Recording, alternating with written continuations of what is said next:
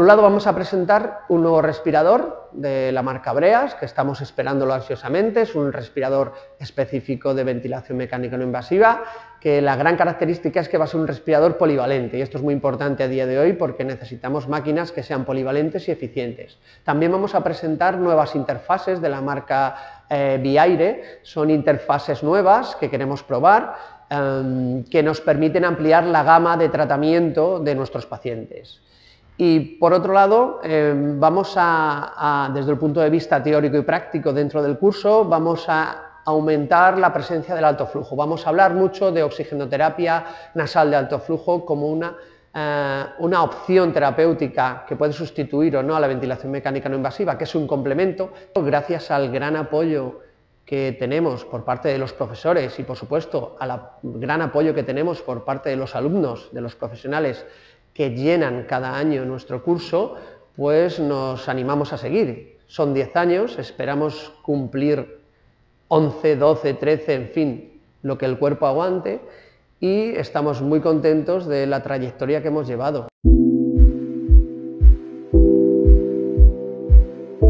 Eh, se basa en dos pilares fundamentales. El primero es que es multidisciplinar y está abierto a todo tipo de profesionales. Esto es muy importante no tenemos ningún prejuicio, admitimos a cualquier gente, cualquier persona, cualquier pregunta, nadie, nadie es poco importante, todo, todo alumno es importante en nuestro curso. Y por otro lado, el segundo pilar es que es un curso eminentemente práctico. Hemos huido de las clases teóricas, de los dogmas, de los paradigmas y nos centramos en la practicidad.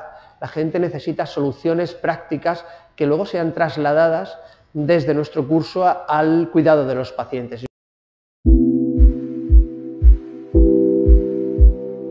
Tenemos médicos eh, especialistas en neumología que vienen porque quieren formarse más en el paciente agudo, por supuesto los médicos especialistas en urgencias y emergencias porque ven la necesidad de aplicar esta técnica desde los eh, servicios de urgencia, nada más llega el paciente al hospital, por supuesto anestesiólogos e intensivistas dentro de las unidades de cuidados intensivos.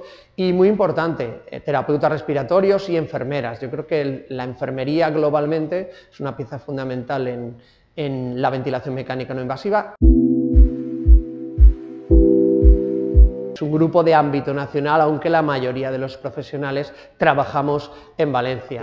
Es un grupo integrado por anestesiólogos, neumólogos, intensivistas, em, enfermeras, terapeutas respiratorios, eh, algún médico internista, es decir, es un grupo multidisciplinar y, por supuesto, es un grupo abierto, Formamos una gran comunidad a día de hoy de profesionales interesados por mejorar las cosas.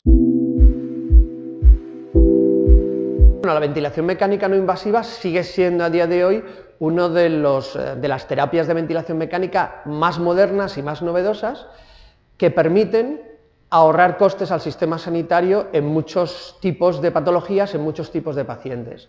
El hecho de evitar los ingresos en las unidades de cuidados intensivos de pacientes con insuficiencia respiratoria hace que los costes hospitalarios sean menores.